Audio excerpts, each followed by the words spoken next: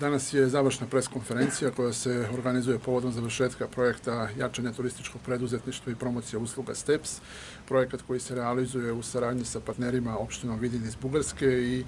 kulturnim centrom Bratstvo iz Ćustendila. Projekat je okupio preko 135 učesnika iz Srbije i Bugarske, pre svega mladih ljudi,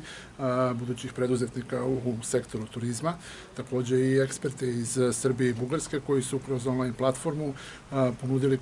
konsultacije besplatne konsultacije za sve učesnike obuka koje su realizovane u Pirotu, u Ćustendilu i u Vidinu. Nažalost, ovaj projekat se realizovao u otežanim, izuzetno otežanim uslovima COVID-19 i veliki uspeh da je projekat polako privodimo kraju, s obzirom na sve okolnosti koje su pratile ovaj projekat. Na početku projekta napravljena je jedna analiza i istraživanje turističkih potencijala i tržišta prekograničnog regiona Srbije i Bugarske. Nakon toga je urađen akcioni plan, zahvaljujući dakle, ekspertima, pre svega sa Sofijskog univerziteta, ali isto tako i iz Srbije koji se bave dakle, sektorom turizma. Napravljena je jedna analiza koja je dala odgovore na sve izazove koje turistički potencijali u pograničnom regionu dakle, imaju. Takođe, nakon toga je urađena i metodologija i razređeni su moduli za obuku polaznika, pre svega, kažem još jednom, projekat je namenjen za mlade ljude iz pograničnog regiona, buduće, dakle, preduzetnike u sektoru turizma koji su stekli različite veštine za preduzetnike preduzetništvo pre svega i sa mogućnošću da eventualno samo zapošljavanje u periodu koji će uslediti nakon ovog projekta koji će nastaviti naravno i da žive upravo kroz online platformu. Pa, izazov ne samo za mlade, za čitav pogranični region je pre svega infrastruktura koja mora da se unapredi sa srpske i sa bugarske strane.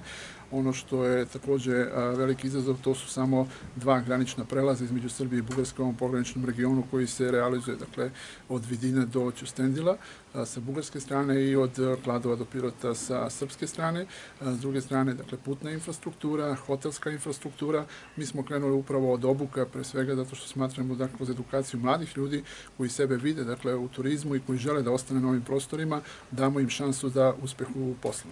već duži niz godina postoji potpisan dakle, sporazum između Srbije i Bugarske oko otvaranja novog graničnog prelaza između Srbije i Bugarske. Euroregion Išava kao jedan od svojih primarnih ciljeva je takođe stavio